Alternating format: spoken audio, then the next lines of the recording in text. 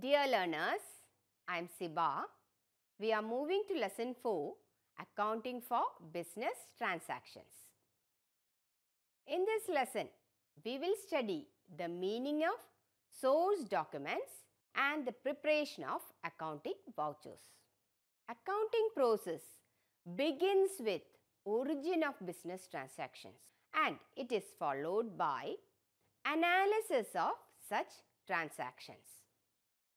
Now you should understand what is a business transaction.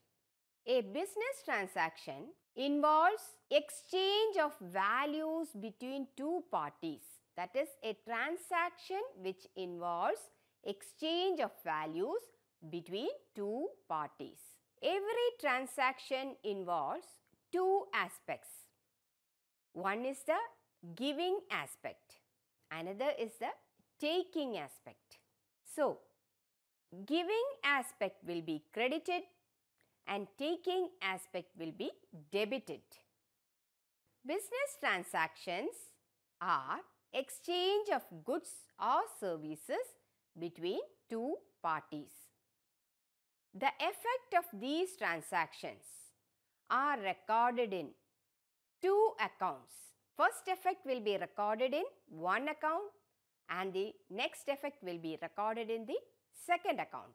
Identify whether these are business transactions or non-business transactions. Manav commences business with cash rupees 2 lakh. Definitely, it is expressing everything in terms of money and it is relating to a business. So, it is a business transaction. Then, he deposited cash into bank worth rupees 1 lakh 60,000. Here also, Manav has started business and deposited cash. So, the amount of cash is also mentioned in terms of money. So, it is a business transaction. He purchased goods for cash rupees 25,000. So, this is also a business transaction because he is purchasing goods for business. Here are some more transactions. Identify whether it is a business or non-business transaction. Manav took out cash from the shop and handed over to his wife for purchasing household goods worth rupees 3000. Purchasing is done for his house. So it is not relating to business. So it is a non-business transaction. He attended a family function and got a gift worth rupees 1500. This is a non-business transaction because it is not related to business. Manav attended a family function. So, not related to business, so non-business transaction. He paid monthly salary to his business employees, rupees 3000. He paid monthly salary to his business employees means it is a business transaction. Next, we have to study source documents because this is a proof for recording various transactions in the business. All business transactions are based on documentary evidence. A document which provides evidence of the transaction is called source document or a voucher. Example of source documents cash memo, invoice, receipt. Cash memo is received when there is a cash sales. When there is a sale of goods on credit, invoice will be there as a source document. When cash payment is made, receipt will be there as a source document. Source document is the primary evidence in support of a transaction. And source document is the first record prepared for a transaction. Basis for entries in the books of account is also source document. Source documents like voucher will be made for petty cash expenses or petty expenses. All documents are kept in a separate file in chronological order and serially numbered. So, in the case of source documents also, it is kept like that. All recording in the books of accounts is done on the basis of accounting vouchers that is source documents. Voucher. So, now we have studied transaction source document. Now, moving to voucher. Voucher is a documentary evidence in support of a transaction. It is a document to record the accounting transaction. A transaction with one debit and one credit is a simple transaction and voucher is prepared for such transactions. Such a voucher is known as transaction voucher.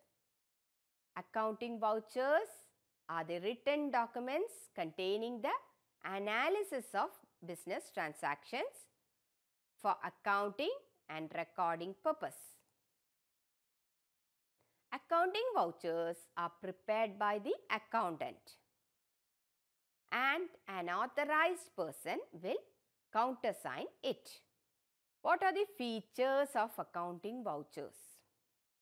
It is a written document. It is prepared on the basis of evidence of the transaction. Accounting vouchers contain an analysis of a transaction. That is, which account has to be debited and which has to be credited.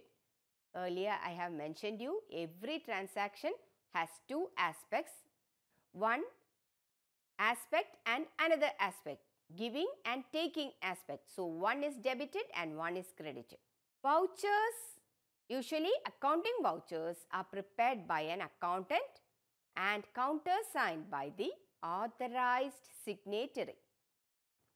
We have cash vouchers and non-cash voucher or transfer voucher. That is the type of voucher. Cash voucher, non-cash voucher. Under cash voucher, we have debit voucher and credit voucher. Non-cash voucher can otherwise be called as transfer voucher.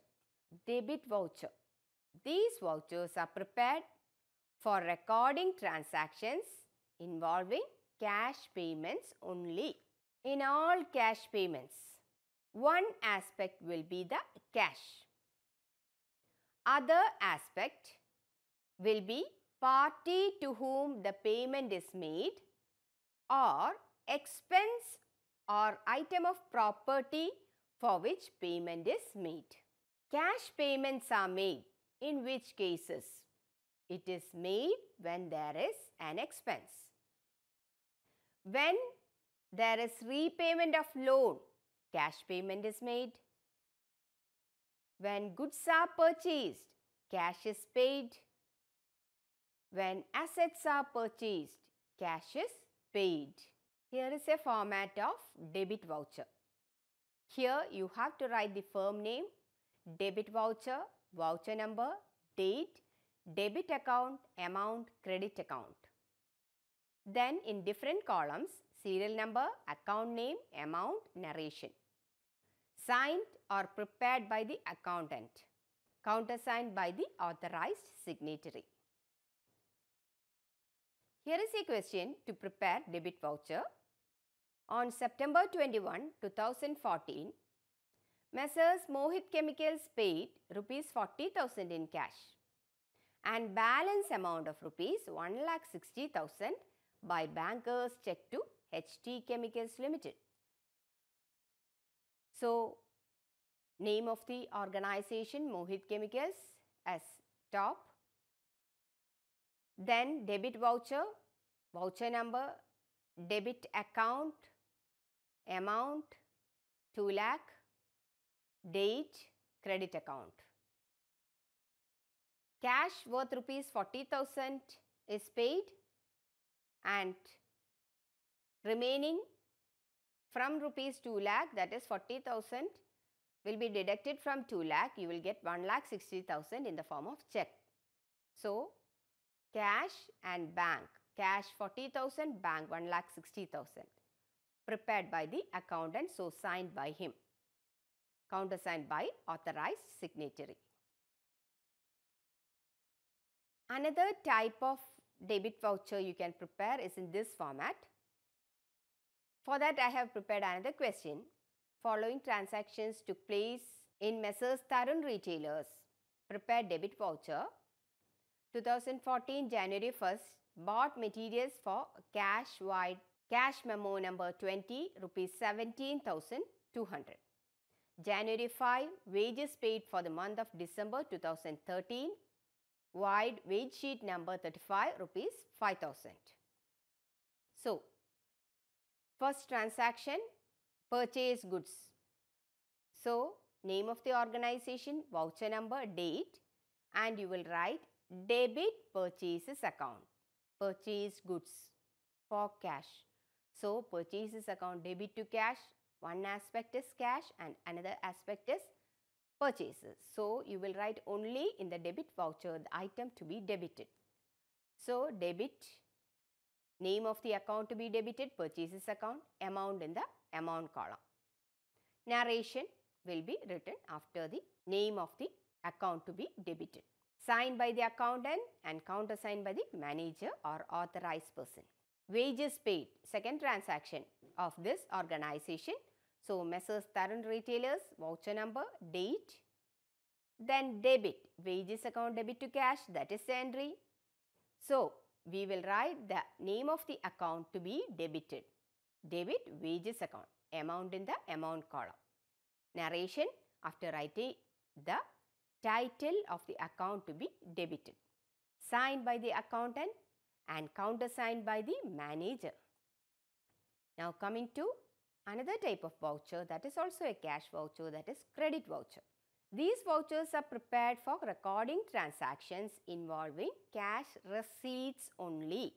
In all cash receipts, one aspect will be cash. Other aspect will be party from whom the cash is received or revenue on account of which cash is received.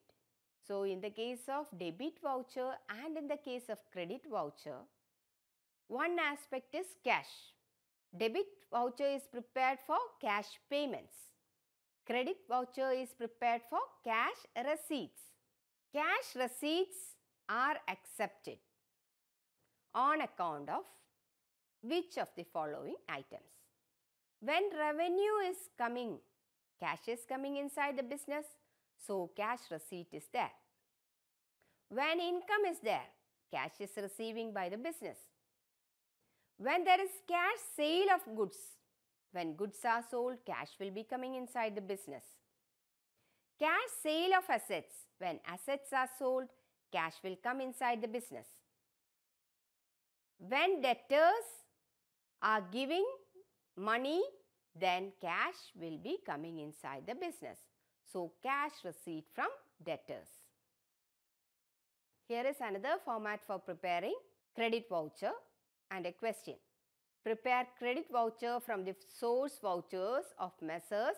MK Computers, Paschim Vihar, Delhi based on the following transactions.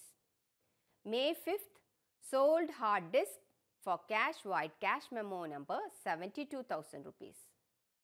May 16th, sold old computer monitor for cash vide cash memo number 34 rupees 13,000. Cash sales. When sales are done, cash will come inside the business, cash account debit to sales. So, credit sales account amount 72,000 writing the name of the organization MK Computers, Paschim Vihar, Delhi. Then voucher number and date on the top. Then in the second line you will write credit and the title of the account to be credited that is sales account. Amount in the amount column prepared by the accountant signed by the manager. Sold old computers that is another transaction when Computers are sold, cash will come inside the business. So, cash account debit to old computer monitors. Name of the organization MK Computers, Paschim Vihar, Delhi. Voucher number, you have to write date in the date side and then in the next line you have to write the name of the account to be credited. Transaction is cash debit to old computer monitor. So, you have to write the name of the account to be credited as old computer monitor. Give a brief narration after this within the brackets and write the amount in the amount column. Signed by the accountant and prepared by the manager. With the expansion of business, the role of credit transaction is increasing at a fast pace. For recording these credit transactions, a voucher is prepared as a transfer voucher. Now we have studied cash voucher and transfer voucher or non-cash voucher. Cash voucher, under that we have included debit voucher and credit voucher. Coming to transfer voucher. It is prepared to record non-cash transactions of the business. What all non-cash transactions will occur? When there is a credit purchase. That is, cash is not going outside the business or coming inside the business. Credit sales. Here also cash factor is not at all coming in that transaction. Return of goods sold. Goods are going. No mentioning of the cash. So this can be included in transfer voucher. Then return of goods purchased on credit. Here also cash is not at all included here. So it can be included in transfer voucher. Depreciation on assets. Depreciation debit to asset. Here also cash is not involved so included as a transfer voucher. Bad debt. So these are the items that you can use in the transfer voucher or you can record in transfer vouchers. Prepare transfer voucher of Sunny Garments, Kanpur from the source vouchers based on the following transactions. In 2014, January 3rd, purchase goods from Messrs. Jim and Johnny, vide bill number 20, rupees 47,000. January 8th, sold goods to Messrs. Sitaram, vide bill number 4171 rupees 13980 so purchase goods from a party here they have not mentioned this is a cash transaction this is a credit transaction so it will be recorded only in the transfer voucher sold goods to Messrs. Sitaram here also cash is not at all mentioned so it is a credit transaction so recorded in the transfer voucher first transaction will be recorded in this way. Name of the organization that is Sunny Garments Kanpur as heading, voucher number and date. After that, in the second line, debit. Title of the account to be debited will be written here. That is purchases account. Goods are purchased from Messrs. Jim and Johnny. So, you are debiting purchases account and you are crediting Messrs. Jim and Johnny's account. So, in the third line you will write credit Messrs. Jim and Johnny. That is the name of the account to be credited. Amount in the amount column. 47,000 rupees that is goods are purchased worth rupees 47,000 on credit from Jim and Johnny. After this narration will be written within the brackets and in the next line it will be signed by the accountant and countersigned by the authorized person, usually manager. One more transaction I have given you, credit sales to Sitaram. Here also name of the organization will be written in the transfer voucher first, Sunny Garments, Kanpur then voucher number and date. As it is a credit transaction, you have to record both the debit and credit aspects. Credit sales to Messrs. Sitaram. Entry will be like this, Messrs. Sitaram, debit to sales. So, in the second line, you will write debit Messrs. Sitaram account. That is the title of the account to be debited in the second line and amount in the respective column. Then in the third line, credit sales account. That is, the name of the account to be credited is rupees 13,980. So, entry will be like this, Messer Sitaram debit to sales. After writing the name of the account to be credited, a brief narration of the transaction is also needed within the brackets and amount in the amount column.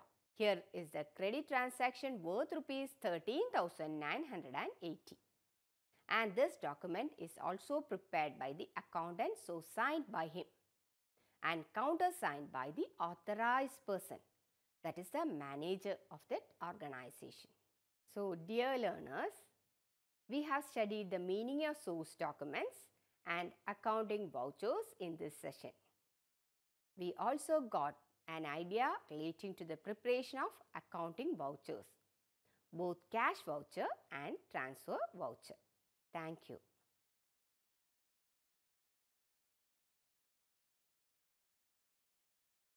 you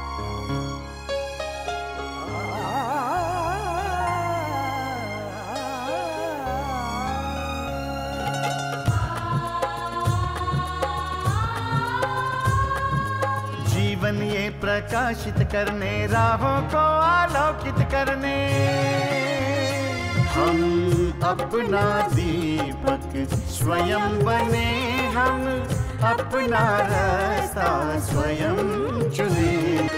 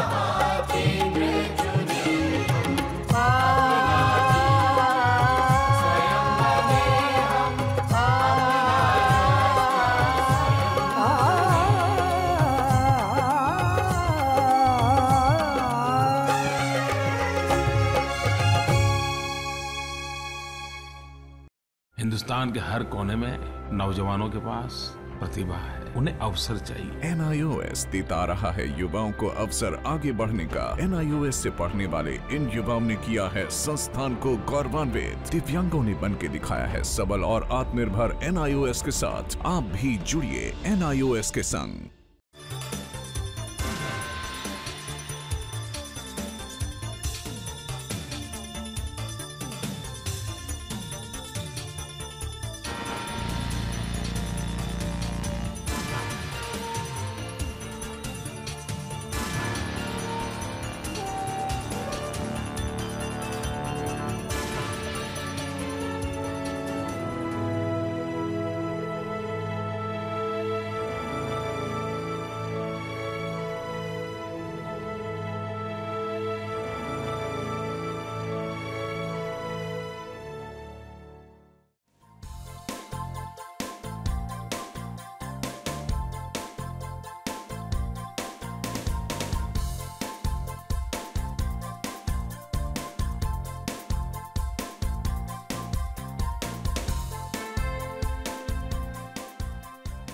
घर बैठे पाए राष्ट्रीय मुक्त विद्यालय शिक्षा संस्थान, यानी NIOS में एडमिशन वो भी एकदम आसान तरीके से, जिससे शिक्षार्थियों को होगी समय और धन, दोनों की बचत। एनआईओएस से शिक्षा कभी भी, कहीं भी। शिक्षार्थियों, क्या आप जानते हैं एनआईओएस में एडमिशन लेने का सरल और सुगम तरीका? जिससे शिक्षार्थियों को ऑनलाइन प्रवेश देने में सहूलियत मिलती है। एनआईओएस में प्रवेश की प्रक्रिया पूर्णतया ऑनलाइन है। शिक्षार्थी घर बैठे इंटरनेट द्वारा प्रवेश के लिए सबसे पहले एनआईओएस की वेबसाइट www.nios.ac.in पर लॉगिन करें। अपना ईमेल आईडी और पासवर्ड डालकर अपना पंजीकरण करें। पंजीकरण के बाद लॉगिन करने पर ऑनलाइन प्रवेश हेतु आवेदन पत्र खुलेगा। आवेदन पत्र को निर्देशानुसार भरें और प्रिंट आउट लें। इस प्रिंट आउट पर अपनी फ़ोटो संलग्न करें। ऑनलाइन प्रवेश के लिए शुल्क हेतु भुगतान के तरीके हैं। क्रेडिट कार्ड के द्वारा, डेबिट कार्ड के द्वारा, राष्ट्रीयकृत बैंक के ड्राफ्ट के माध्यम से जो कि सचिव एनआईओएस नई दिल्ली या नोएडा के पक्ष में देय हो।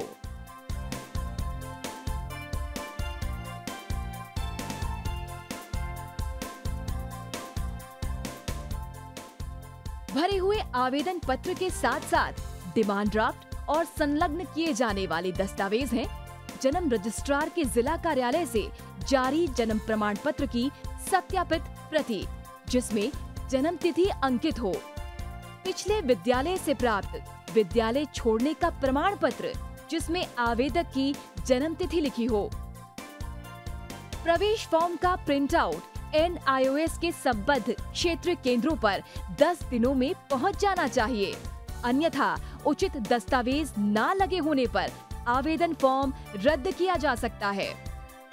प्रवेश प्रक्रिया की पुष्टि होने के बाद शिक्षार्थियों को परिचय पत्र व अध्ययन सामग्री डाक द्वारा तुरंत पहुंचाई जाती है।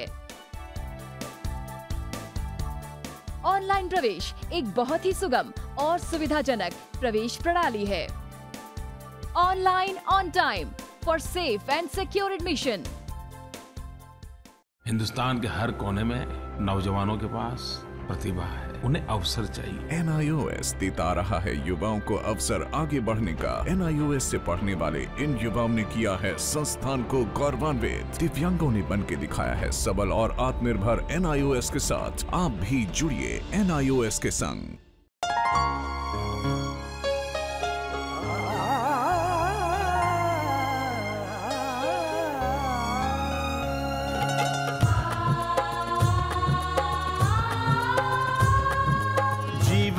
प्रकाशित करने, राहों को आलोकित करने। हम अपना दीपक स्वयं बने, हम अपना रास्ता स्वयं चुने।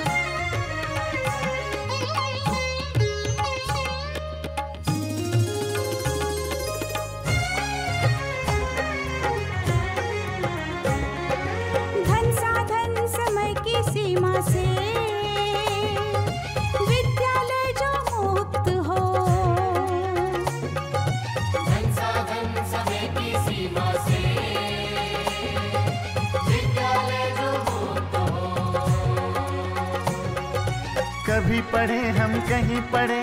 वे विषय की लोच से युक्त हो। मित्रों, हम उठे और